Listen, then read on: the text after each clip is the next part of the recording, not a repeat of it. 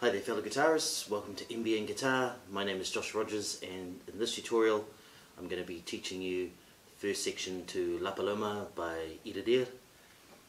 Uh, remember if you like the video please smash that like button and also subscribe to the channel and there's a new feature with this little like bell and it gives you notifications when I upload. Anyway, let's kick straight into this. Make sure you tune your 6th string down to D. It starts off with a pretty cool technique which is palm muting.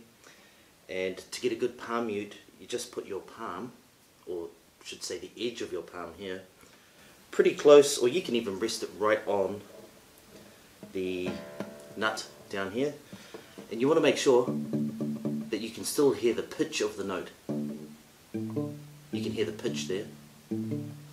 If you go too far forward you don't hear it, it just sounds like pure percussion. But you'll know if you've got it right, if you can still hear the actual notes. Alright, let's have a look at what those are. We're just doing three open strings essentially.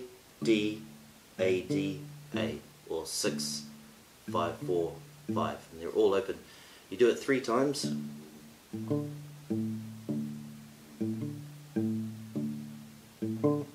there, on the third time, don't go back to the open A. So it's just, and then you're going to kick in with the melody, which is this. That's a slide from 4 to 7 on the 4th string. And when you get there, hit it again and play open D at the same time, like this. Then we've got open 5, open on the A, followed by open D again. We carry on, I should mention that when you're interpreting this piece, i.e. playing it, you don't want to put too much emphasis on the bass notes, like, like this for example. Uh, I'm, I'm kind of exaggerating there, but my point is, if you put too much emphasis on the bass notes, the melody gets lost, and the ear starts thinking, oh, where is this piece going? So make sure you put more emphasis on these melody notes like this. And then play these bass notes a bit quieter. Instead of. And that's the idea you want to keep with you in the back of your head throughout the entire piece. We've got that. Then we've got a shift up to here. So that is 9, 10, 12, all on the A string, and then you play the open A, but this open A doesn't belong to the melody, it actually belongs to the bass, so you don't play that one very loud. Like that. Then the ninth fret on the D, and then you're going to sneak in the open D like this immediately by 11 on the D string. Then 12 on the D string. Then 9, 11 on the D string. Then open A.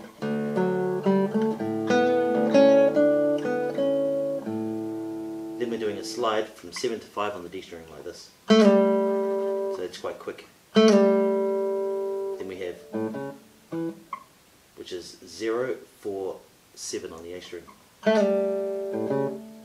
I play it staccato, which means short and detached, like not. That's just my interpretation. Like that. Then three natural harmonics at the seventh fret. We're going from the sixth string to the fifth this. That's a slide from 2 to 5 on the B string. And just like this, it's the same idea. So when you get there, you're going to hit that note again and open A at the same time. Then 5 on the D, 6 on the G, back to the D. Followed by open A. Then we have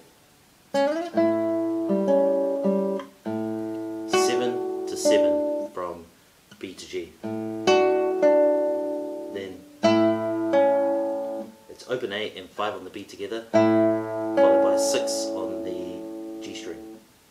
Then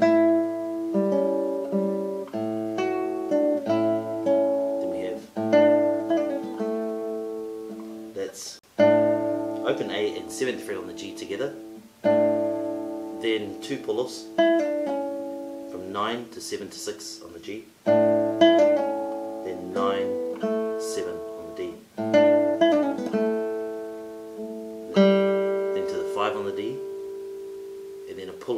this.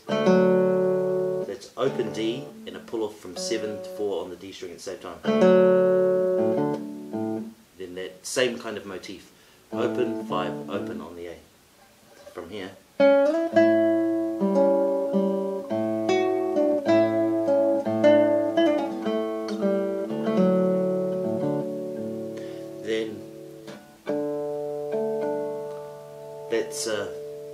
Natural harmonics again, but it looks like they could be artificial just because of the way I'm picking it.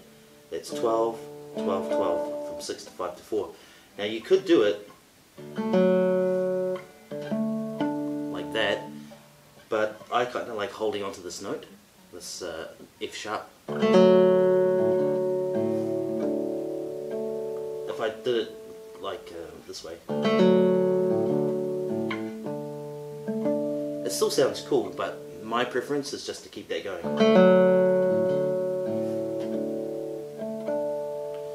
Then we have the same kind of idea again. It's basically this, one octave up.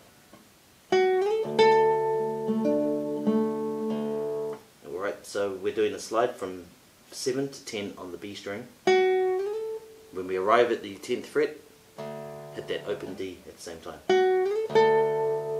Then 7, 7, 7, from D to G, back to G. Then that open D again.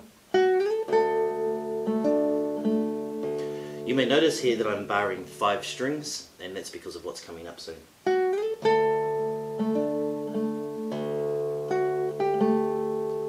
After this open D, we have that's 7, 8 on the B, then 7 on D. Then it's followed by 7 on the G and 10 on the B together.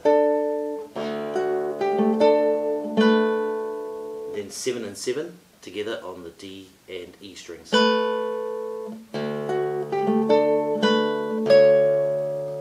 open D in the uh, ninth fret on the first string. Quite a, a nice clash there. It's a compound major seventh. Then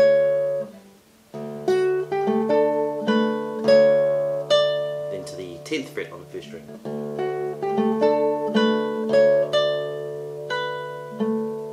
Then seven seven like that from the first string to the D string.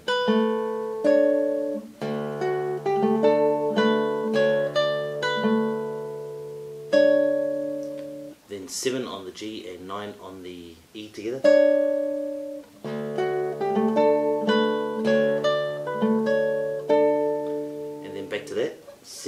7 on the G and 10 on the B together. And then we have this which is kind of tricky actually, for me anyway. Uh, we've got 7th on the A, 9th on the D, and a pull off from 10 to 8 on the B string all at the same time. Then that's from 7 to 9 to 7.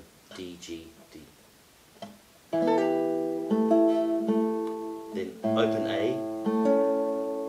7 on the D, 6 on the G. That bit there.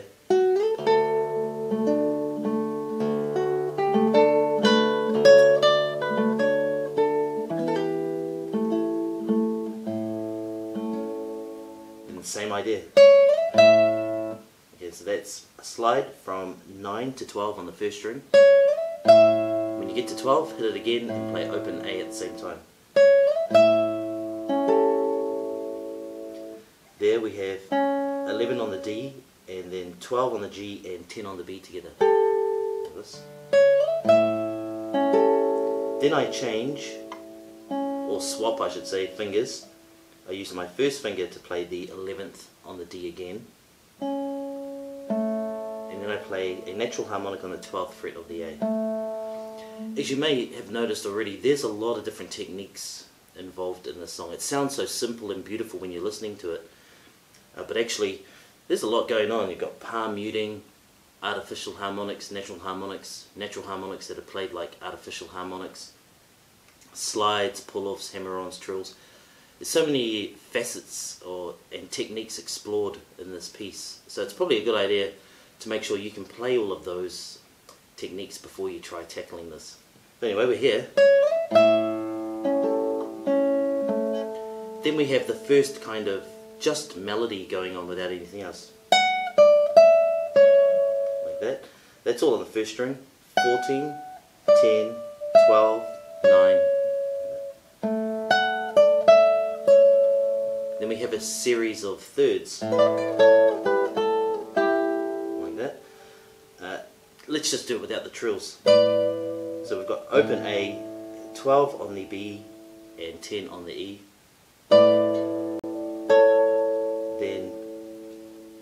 10, 9. Then 8, 7. Then 7, 5. Then 5, 3, and then 3, 2. So you can just practice like that. And then when you get to this one, make sure you hit the open A again. And when you get down there, you play an open D at the same time. Now, when you're doing that, you can put a trill in like that. And there again too.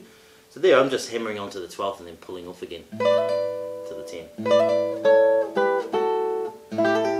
And then there, I'm hammering onto the 5 and pulling off to the 3. Okay. So from here.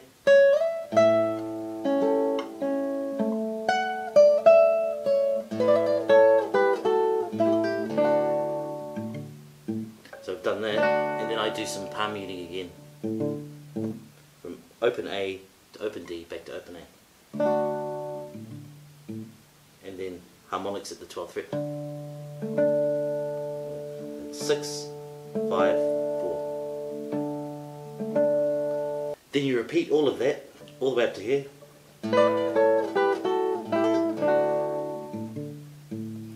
Then instead of going start, we're going to do this. Okay,